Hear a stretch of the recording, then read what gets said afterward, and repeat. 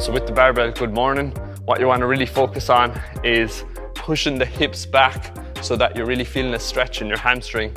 So one common problem with the good morning is people put too much pressure on their lower back because they don't really focus on driving that hips back, really lengthening here and controlling up. So when you're putting the bar on your back, try not to put it up too high because if you if it's too high on your back, as you shift the hips back, the weight is more inclined to put you forward. So make sure you're creating a shelf on the upper back here for it.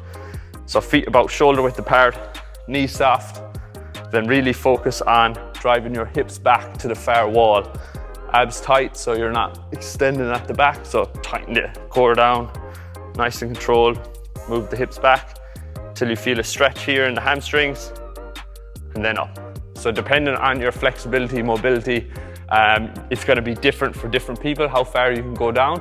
So just really focus on controlling the movement and stopping where you really feel your hamstrings lengthening here. Because if you go further, you're just gonna use your back. So nice and controlled, lengthen your hamstrings, drive the hips up to come up.